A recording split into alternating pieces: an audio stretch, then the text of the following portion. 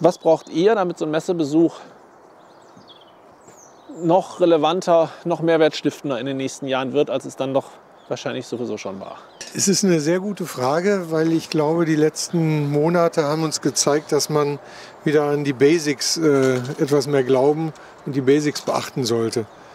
Aha. Bei einer Messe wollen Einkäufer Verkäufer treffen und mhm. Produkte sehen. Und die wollen sie nicht nur sehen, sondern auch beurteilen können.